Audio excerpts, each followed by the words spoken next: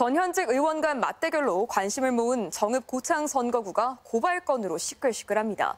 유성엽 예비후보 측이 윤준병 후보를 선거법 위반으로 고발하는 일이 벌어졌기 때문인데요. 언론사 여론조사를 임의대로 공표했다, 아니다, 정치 공세라는 공방이 뜨겁습니다. 전재훈 기자입니다. 지난 16일 정읍 고창에 출마한 윤준병 예비 후보가 올린 SNS 글입니다. 지역의 한 신문사가 공표한 여론조사 결과를 인용한 것.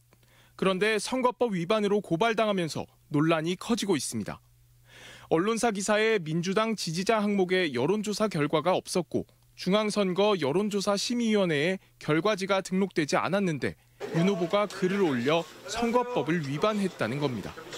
또 여론조사 결과를 감안했을 경우 당내 경선에서 윤 후보가 승리한다는 논평도 허위 사실이라며 같이 고발했습니다.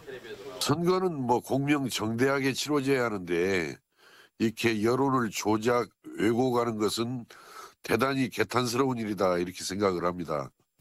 반면 윤 후보는 정치 공세라고 반박했습니다. 공표 시점을 지켰고 결과지 입수와 논평에도 문제가 없었다는 주장. 흠집 내기를 중단해야 한다는 입장입니다. 고발된 그 내용에 따라서 명명백백히 사실이 아닌 것으로 위법 행위가 없는 것으로 이렇게 드러날 것으로 보입니다. 시민들이 심판할 것이다.